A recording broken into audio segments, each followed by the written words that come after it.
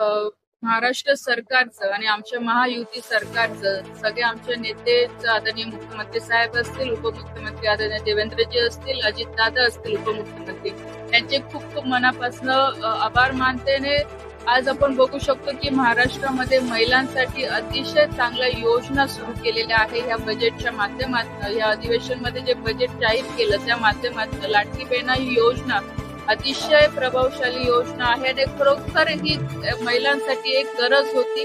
आज जेणेकरून महिला आपल्या स्वतःसाठी काही ना काही चांगलं करू शकतात. स्वतःला त्या माध्यमातून सक्षम करायचं काम करू शकतात. आज जरी विरोधक याच्यावर अनेक प्रकारचे वेगवेगळे टीका जरी करत असतो पण मला असं वाटतं की हा महिलांसाठी एक दिलासादायक निर्णय सरकार राज्य सरकारने घेतलेला आहे.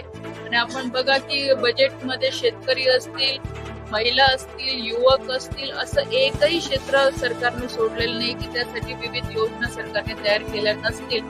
तर मला असं वाटतं की या बजेटच्या माध्यमातून नक्कीच महाराष्ट्रातल्या जनतेला खूप मोठा दिलासा मिळालेला आहे. आपण बघू शकतो की शेतकऱ्यांचं वीज बिल माफ करण्यात आलेलं आहे. त्याच्यानंतर आज एक रुपयामध्ये पीक विमा निघतो आहे.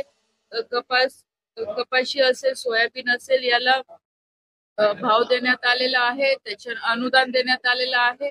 अशा अनेक वेगवेगळ्या प्रकारच्या योजना राज्य सरकारने बजेटमध्ये घोषित केलेल्या आहेत. नक्कीच याचा फायदा महाराष्ट्राच्या जनतेला होईल.